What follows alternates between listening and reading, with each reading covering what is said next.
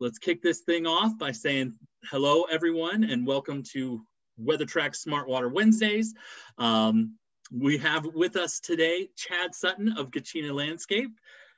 Hey, everybody, how you doing? And it is an honor to have Chad here. Chad was uh, is a second time guest and was a guest on I think episode four or five. So you, right. we're we're now almost to the 40s. So we're keeping it real here, Chad. Thanks for uh, thanks for continuing to support. I think it's awesome to uh, have this kind of kinship, this relationship that we have that um, allows us to provide good water management and talk about water management in a way that um, makes it real and makes it relatable for our listeners. So yeah, absolutely. My pleasure, Ben. I'm excited to be here. Thanks for the invite. being a part. Today we are going to, I'm going to jump into my presentation. Oh, just kidding. Not that far into the presentation. Um, goodness. All right. So we're going to talk about FlowLink. We're going to have Chad Sutton on the show today from Gachina Landscape, who, by the way, has one of the greatest social media teams in all the business. I love how much Gachina uh, puts out on social media and their perspective on not only water management, but all of the great things that you guys do. I think Thanks. shout out to your yeah. social media team. Shout out to Chelsea. Chelsea's the one who's really taken that to the new heights. It's it's really great. Uh, I've, I've got it tracked on both Facebook and on LinkedIn. So, uh, and and the content that they provide is really really high quality. So, good job, Chelsea. Um, keep moving forward. So today we're going to talk about FlowLink, but I think the conversation about FlowLink really starts with a conversation about flow metering and flow management, right? Um, this is something that historically we haven't seen a ton of in your average everyday landscape. Uh, it's something that I called a designer feature where uh, you would only have it on professionally designed irrigation systems. And beyond that, uh, really only used in a very small handful of sites and in systems that had a professional manager. So I would see flow management just wasted on a ton of irrigation systems, places totally. where flow sensors have been installed but never used. Do you see the same thing?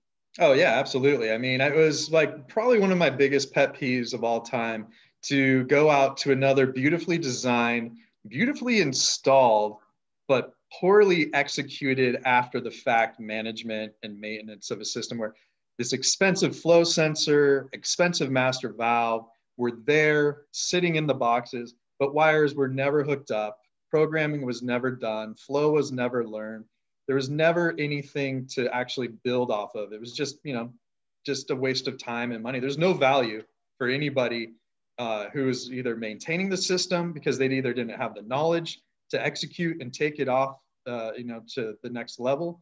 Uh, and a lot of times, I really feel like you know that performance thing is there's a lost step there where somebody's really not checking on who's actually taking it all the way to the point where it's actually up and running and working and being managed through a maintenance company. So yeah, huge uh, black eye for the industry totally. And and like i said you know it was used on sites that have that professional manager those absolutely. those rainbird maxicom sites that they have that full-time manager. But um, i'll carefully say we're partners with a big box retailer um, that we have thousands of sites across the country. And they were specifying flow sensors long before they established the WeatherTrack relationship.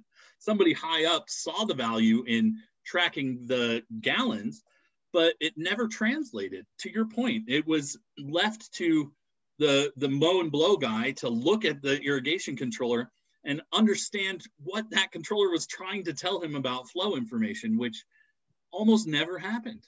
Exactly. Yeah. The uh, if flow and flow alerts and the information just live inside the box, and that's where you have to go to understand it.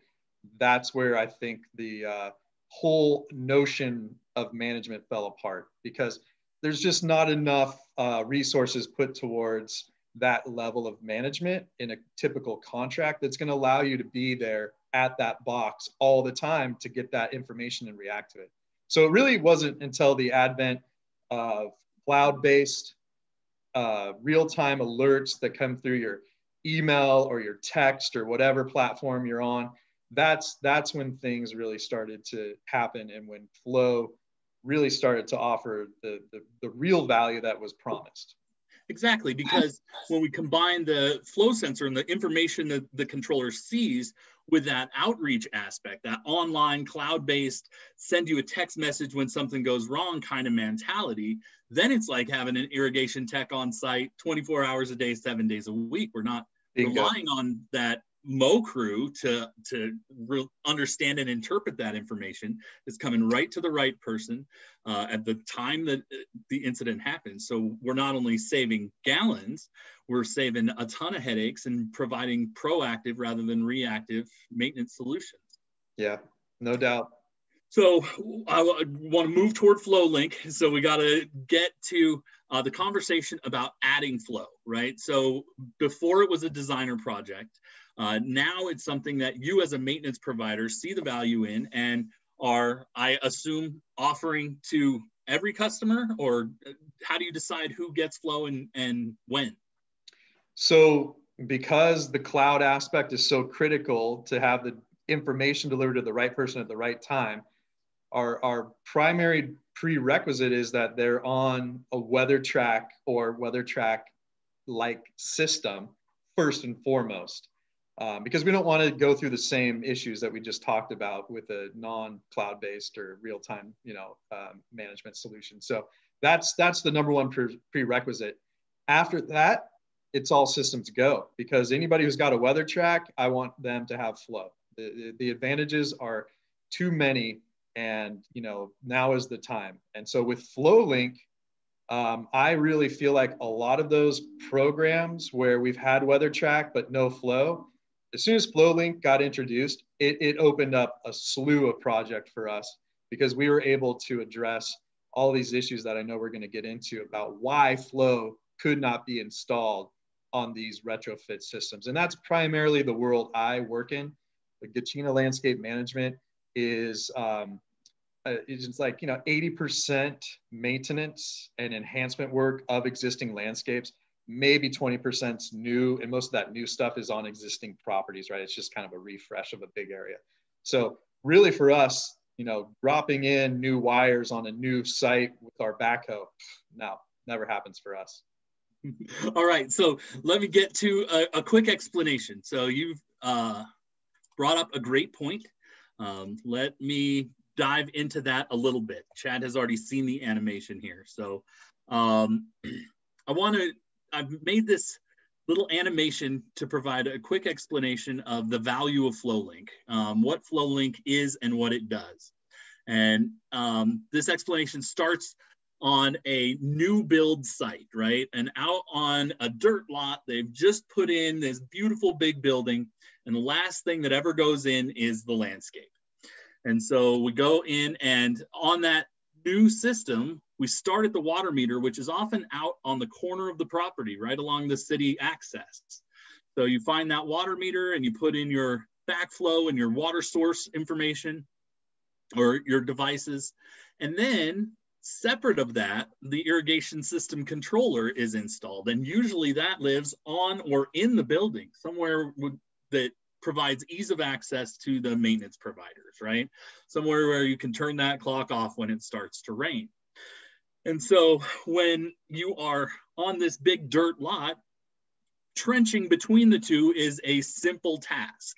Um, you definitely have to uh, wire in any components that you're looking to add onto this irrigation system. The wires have to run back to this controller. So you can add valves and you can add master valves and flow sensors with a relative amount of ease because it's easy to get all of the uh, requisite wires and electronic components all tied together, right?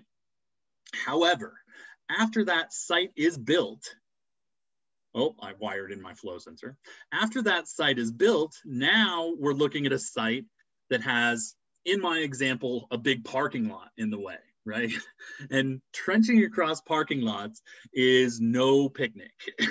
so um, it really prevented us from going in and trenching in the proper wires for the flow sensor. So adding a flow sensor in after the site was already built was cost prohibitive. It, you know, th- the features are great, but to pay tens of thousands of dollars to add those features to an existing system was really unrealistic, right, Chad? Yeah, no, absolutely. That was the big non-starter. Was uh, you know I got sick and tired of having to go out and ask uh, asphalt, concrete, you know, demolition companies to get quotes on how much it would cost to go across this parking lot and give that number to my clients, and they, you know, it was like are you kidding me? $50,000 to trench through a parking lot? You know, the, the numbers are astronomical. Not to mention that most of my clients can't even give me the time of day to get in there and shut down a parking lot to cut trenches and repair everything. So it's just really a non-starter. The money and the issues with you know site usage just made it unrealistic. Absolutely.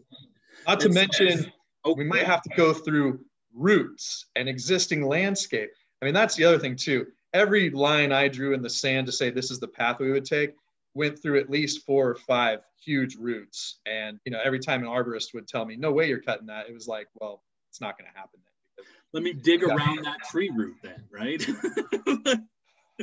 yeah, trees that are in four foot wide planters, right? Where do you go around it? right and and and not just plant life or parking lots but retaining walls or any sort of professional yeah. landscape uh, you're you're talking about da- damaging trenching through to provide this kind of feature.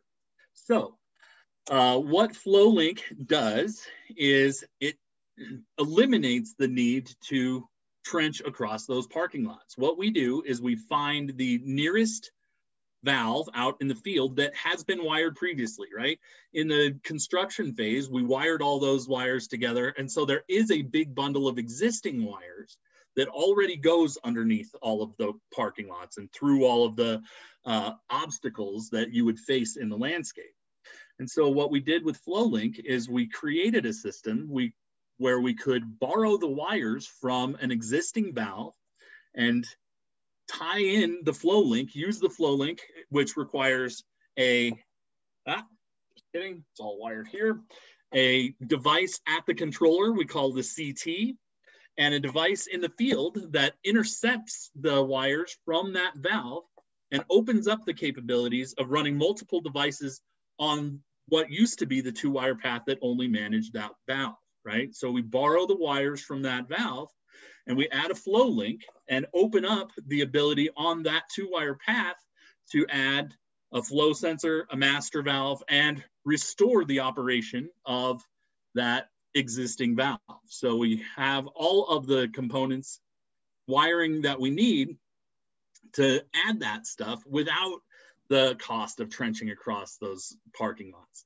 The best way I ever heard a contractor describe this, Chad, was mm. like it's like an add a zone for a flow sensor, right? Yeah, exactly. That's all it is. It, it turns that two wire path into not only uh, power wires, but communication wires as well where we can handle all of the operation and information from uh, of a flow sensor and master valve setup. Yeah, yeah, you and, certainly could have called it add a flow sensor and master valve. That could have been the name of the product. exactly right. And all that is required, the only trenching then that's required is between that existing valve to where you install your master valve flow sensor, most likely right there at the base of your backflow. Yeah, and one little tidbit for anybody who's thinking about doing this, what we've found is, you know, we we have pretty good toner, tracker, tracer, you know, like Armada Pro 900 units that can help us identify where the wires run. So we can tone them out and trace them. And a lot of times is what we find is, you know, the main line with the bundle of wires right underneath it is really close to our point of connection. So a lot of the times we can grab the wire that we need for the valve that we want to borrow the wires from and we don't even actually have to trench to the valve itself. We just trench to what seems to be a lot closer because the main line usually runs right next to the backflow, right? That's common knowledge, right? Because that's the start of your main line. So usually the wires are somewhere right around your master or your uh, point of connection already. So you don't even have to go all the way back to the valve if you really start to think about find the wires that are out there. Yeah, we have some upcoming slides some good representations of different scenarios, right? We'll talk about that. Um, Aiden asked, uh, on a two-wire system, do flow links, including the CT, uh, require a decoder? And the short answer is I wouldn't use this on a two-wire system. Uh, if you're using WeatherTrack two-wire, you can add flow and master valves right onto the two-wire path. Um, and that's probably the easiest way. Uh, it wouldn't interface with the, the two-wire system the way that you would expect it to um, because it's just an entirely different setup. This is really more of a conventional kind of wiring solution. Um, all right, so let's move on. The other point I have to make about this, Chad, is um, about the wire itself, right? We have a specific kind of wire that is recommended for traditional flow sensor installations. Um, and this is really compounding the issue of having to trench in wires, right? Because you can't, uh, in a typical scenario, just take existing or spare wires off of, of what's running with your main line just to add in a flow sensor because a flow sensor requires communication grade wire. We're talking about shielded wire that protects from electrical interference. And so even if you have spare wires like you referred to, uh, they're not really technically fit for carrying the communication that a flow sensor requires. They're very apt to picking up stray electricity uh, or electric electrical interference yes. that then shows up on the controller as flow. yes, and we've chasing a flow that. problem that isn't flow problem. Tell me your experience. Yes, you know we we've tried to take shortcuts before, and uh, you know a lot of it comes back to cost of running new wires. So you know we found a spare pair of wires that we tried to reuse one time for flow sensor, you know, just standard 14 gauge or 12 gauge, you know, solid.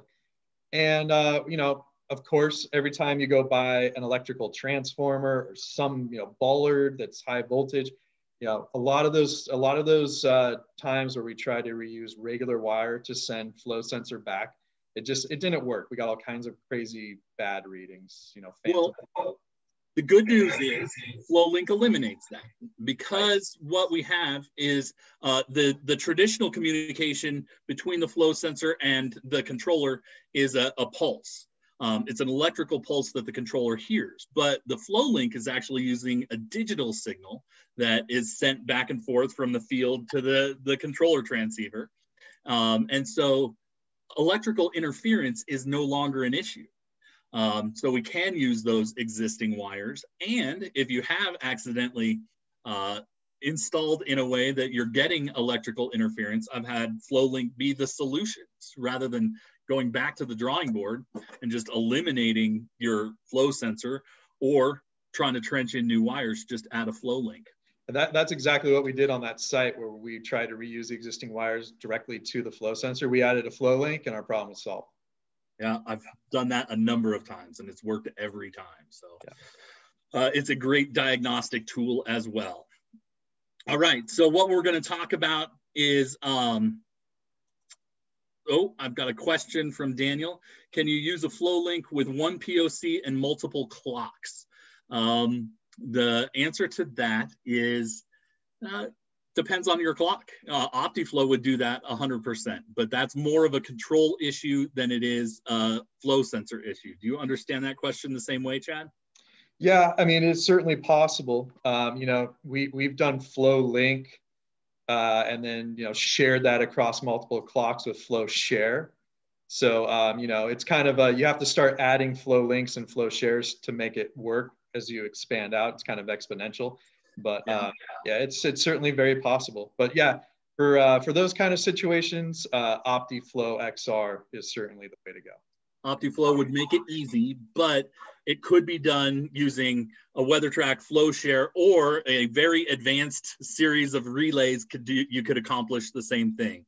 Um, so it could be done, but uh, OptiFlow XR would make it easy to, to accomplish that. Um, all right, so let's talk about the FlowLink itself, right? This is a piece of hardware um, that installs, we've got this guy that lives out in the valve box. We've got the controller transceiver that you wire into uh, the controller.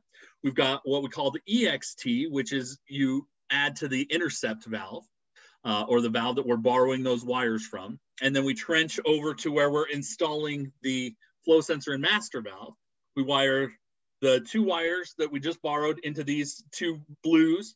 The two whites go to your master valve and the three wires um, go to your flow sensor. I've got a, a positive, a negative, and a power wire if you're using a photodiode.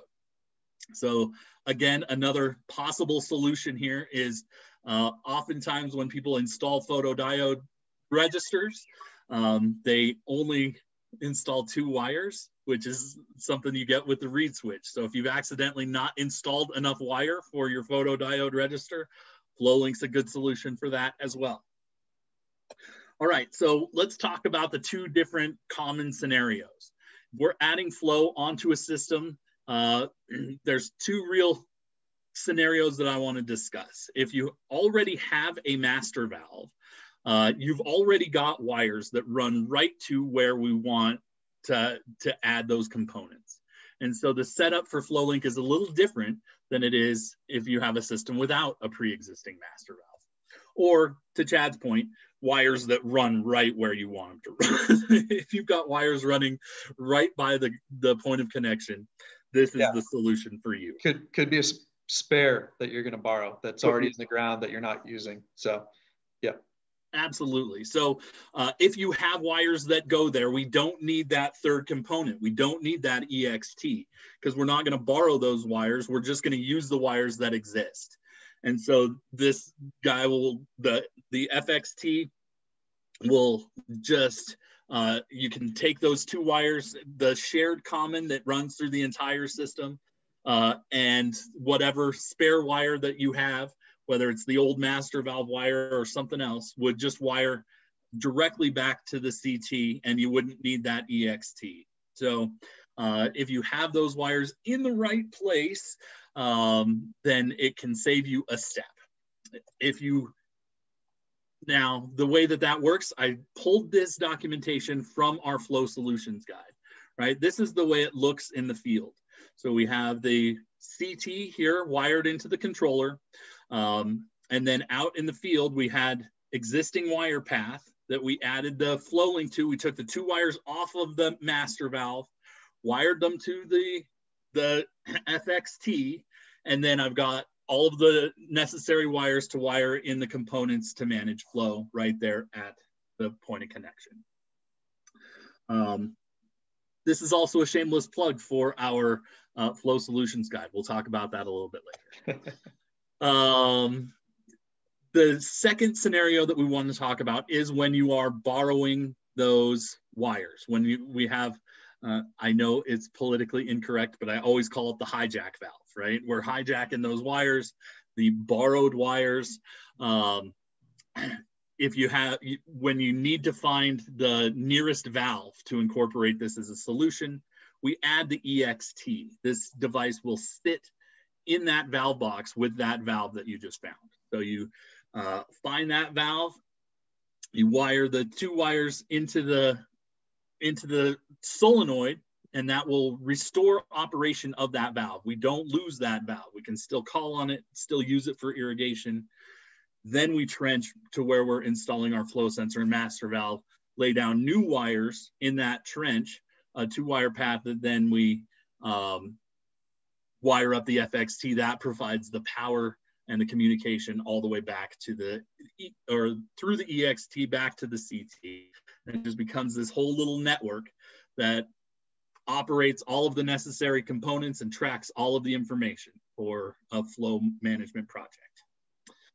Right, and here's what it looks like, right? This is um, one scenario, the most simple scenario, we wire that up at the controller, steal these wires, trench this little path right here in between and add the FXT to where we're installing the flow sensor and master valve. Um, so the only tre- it really eliminates a ton of trenching and and makes um, I have had folks that find the value not in in the eliminating expensive trenches but eliminating a ton of extra trenching. Like even if it's an easy trench there's a certain point at which it makes sense to do this anyway.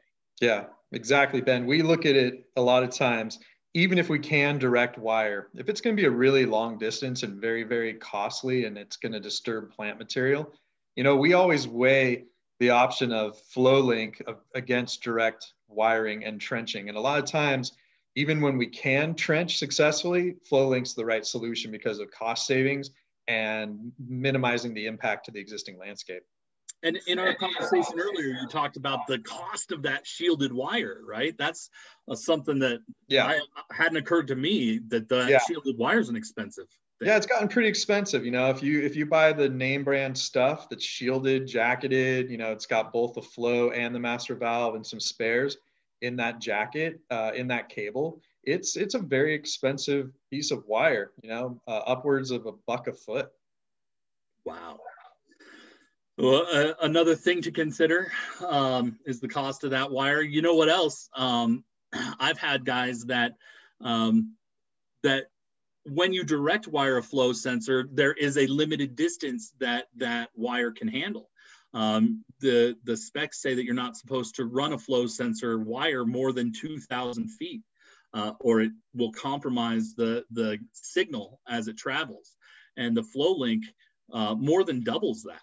Those, we've tested the flow link up over 4,000 feet um, because the signal was getting lost. So they presented flow link as a solution. And it, it can really exaggerate the distance that that signal can travel um, by a good, good ways. So that's especially handy for um, cities and, and projects that are just enormous, right? yeah, that's that's where we uh, medians where it's a really really long run for sometimes you know from the point of connection to the controller for some reason because water was at this end of the three mile stretch or whatever and power was at this end. So yeah we, we found good uses for that too. That's awesome. So um, we are running short on time here chad. So i don't have much left but i did want to highlight this. Uh, this is our flow solutions guide. You can download that from our website. If you're looking at um, trying to grapple with how to add flow onto a site. The Flow Solutions Guide does a great job. Talks about how the, the Flow Link applications, Flow Share applications, which we mentioned, um, and just uh, walks through in a very visual way um, kind of how we can start to present retrofit flow onto sites um, in an easy way that, that brings flow features into the conversation. So definitely check that out on our resources page at hydropoint.com. Um, I also have provided training for the flow link. It's not too complex, but it's nice to have somebody walk you through it the first time. So if you want to check out our certified training program on our LearnUpon site, there's a flow link training in there that will walk you through and get you comfortable before you go out the first time. I think that's also available on our YouTube channel, but I'm not sure. Um, if you're looking to sell this, if you want to talk about it with a customer, another resource that you'll find at hydropoint.com is the tech sheet. This is full of really valuable information and talking points um, that, that really kind of focus the conversation about the value proposition. Chad, you've used this, right? Oh, yeah, all the time. It's a great way to help sell and explain to my team. Awesome. All right. And then, um, and Just, that, in a nutshell, is my uh, the the introduction into FlowLink. Now, I do have a couple of questions uh, that we want to pull off the chat box before we move on. I've got Aiden that says, "Can the FlowLink FXT and the EXT work independently without a server?" Um, not sure exactly what you're asking me there, Aiden. Um, if you're asking does it work when the controller is not online? Yes, it's totally independent uh, without the, the cloud connection. That signal is traveling through the wires. If you're asking if you could use this on another system that isn't WeatherTrack, uh, I would answer, why would you ever use another system that isn't WeatherTrack? But um, technically, the, the, the technology should work. Uh, it is not something that we would be able to support you on because our, our customer service team speaks fluent weather track, right? When you call our customer service team, they'll ask you to, to walk through the steps on the weather track so they wouldn't know how to help you if you used it in a different scenario. But technically, I don't think that you're required to have a weather track to use this. And then um, Lynn asks, recurrent active alerts, valve short and valve no connect on our controllers. Um, are these alerts related to our FlowLink? Uh, it can be. Uh, if, if you are talking about, it's very limited in scope. It's not very common. But if you have an alert on the valve that you've hijacked, if you've got uh, your FXT wired into station three and you're getting an alert on station three, um, there definitely is an opportunity that the FlowLink could be causing that. One of the connections is most likely the cause, um, but there's a lot of wiring that has happened in between there. And if any of those connections fail, that can cause an alert. Absolutely. I will add there. Add? Yeah, I will add there. It could be the master valve also, right? Because the master valve is part of that, and you could get a short or no connect on the master valve as well. Yeah, absolutely. And Ben, one more one more thing. I noticed we've got a couple more questions on the uh, chat, the actual chat. Oh, there we go. Okay, let me go there. So I am out of Q and A. Stop. There's chat. Thank you for bringing that up. Um, let's go. Is this applicable for conventional conventional wiring as well? Yes, absolutely. It is designed for a conventional wire controller. Um, if I said it makes a two wire path, it's kind of the same idea. The, the two wires of your conventional system, we turn them into communication and power wires like on a two wire path, but this is designed for a conventional wire system and a conventional wire solution. And then is it possible with one OptiFlow XR manager and, and Pro 3 members or all OptiFlow? Absolutely. Any, in the OptiFlow setup, the only controller that has to be a, a XR is the one that listens to the flow sensor. The rest of them can be Pro 3s that have that OptiFlow key installed um, that make them member controllers. So anything that is listening to the flow sensor, whether it's through FlowLink or not, has to be an XR. But then that, that XR can share that flow information to the other members, whether they're OptiFlow XRs or Pro 3s with the upgrade key. Anything to add on that, Chad? No, no, it's definitely all possible. Um, can I answer the next one? I think I know this one. Yes, please. What's the difference between FlowLink and OptiFlow? Okay, so FlowLink is hardware that is designed to just get the master valve control and the flow sensor information back to your controller. So that's what FlowLink is. OptiFlow is a software-based solution. It does come with a new controller, the XR controller, so you can get it this software with that controller. But OptiFlow optimizes your available gallon per minute or your supply and can optimize that across one controller or multiple controllers on a team that are sharing that information and turning on valves in the right sequence so that you can fill up and use as much of that pipe as you've got. Perfect. I think uh, uh, I would just say simply FlowLink is a device that helps us hear the flow back to the controller.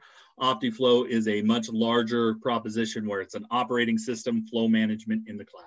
So absolutely. There's one more question from Lee at the very top of the chat here. Does, does FlowLink work with the Flow HD, Ben?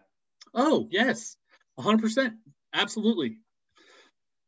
Um, yeah, it is the same type of signal. Um, it, and the only thing you have to be cautious of is the K and offset values for your Flow HD are dramatically different than your standard flow sensors, but it works just the same. Yes. All right. I think that's uh, that was great round of questions. I think this is the most questions we've had on that chat and Q and A box. So, Chad, you are prompting good conversation. Ha! It's it's a good topic. That's it. There you go. Um, so now I am going to let's finish the PowerPoint real fast. So we're always here to help. Check out our online support resources. Uh, next week, we are going to feature two-wire troubleshooting. Um, so tune in next week for two-wire troubleshooting class. Um, it's an interesting topic, and we'll have a great water manager, Justin Shelby, join us for that. Um, all right, Chad, you're a second time guest, and my second time guests all get the same question. What is your favorite WeatherTRAK feature? Uh, that's a good question. Um, there's a ton. Um, I'll just go with a simple one that has been around a long time, but it's super valuable. Runtime valve test. Okay. Run runtime valve test. I mean, the difference between knowing that a valve solenoid is shorted or there's no connection anymore because it's completely dead. The ability, just that simple ability to get real-time updates on how your wiring path is and how your solenoids are doing before the whole zone starts to dry out and you're in crisis mode, panic mode, that feature, runtime valve test, and how it's changed us from reactive to a proactive maintainer has made a huge difference. That feature alone being in the cloud and delivered out to all your different platforms, all your different devices, the right person, the right time, that thing's been a real game changer. And uh, it's an oldie but a goodie. Absolutely. Great answer. Uh, and I would say when you combine it with the cloud, finding those issues are um, are easy on the day after it happens, right? If you've got a broken wire, it's because somebody put a shovel through your wire. Right. If you get that information the next day, you can go out and find where they were digging. You exactly. don't get that information till a week or a month later. Those tracks are gone, and it adds yeah. to the time. It adds to the the whole process, and yeah, I'll just the expense of fixing it. Yeah, I'll just conclude with that. Um, property managers love when you can show them cause and effect when an issue happens. So if we can see that the wire's broken in the morning and we can get out there that same day and still see the guy who's putting in the real estate sign digging the post hole right through the wire and say, excuse me, sir, you're gonna have to pay for this damage. Property lovers, uh, property managers love being able to, you know, make sure that the person responsible is held accountable rather than just keep picking up the tab over and over again. So pretty nice for everybody. Absolutely. Chad, it has been a pleasure. Thank you so much for making time for us this morning. I really always appreciate not only chatting with you in this forum, but it's always good to see your face. Thanks, Ben. It was good to see you too. Thanks for having me. And thanks, everyone. We'll see you next week for Two Wire Troubleshooting. Have a great week.